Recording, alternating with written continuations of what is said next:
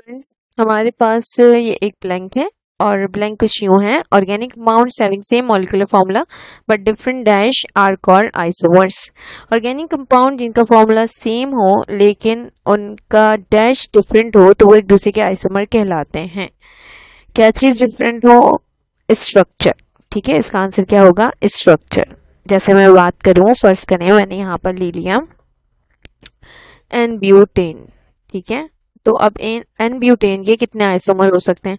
अब मैं अगर एन ब्यूटेन को लूँ तो ब्यूटेन का मतलब है चार कार्बन तो ये मैं एक स्ट्रेट चेन में भी इसे लिख सकती हूँ।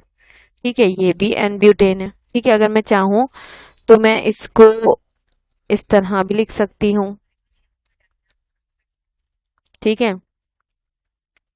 ये भी क्या है? आइसोब्यूटेन कह लेंगे हम इसे। ठीक है? तो बेसिकली इन सब, इन दोनों का फॉर्मूला क्या होगा? इनका फॉर्मूला है C four H H ten ठीक है? सी फोर एच टेन तीन, चार, पाँच छः सात, आठ, नौ, दस। ठीक है, इसका भी formula C four H ten है और इसका भी फॉर्मूला क्या है? सी फोर एच टेन ठीक है? थ्री इसमें जो है, क्या नाम है?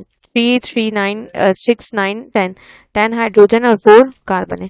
दोनों का जो फॉर्मूला है वो सेम है, लेकिन जो स्ट्रक्चर है वो डिफरेंट है।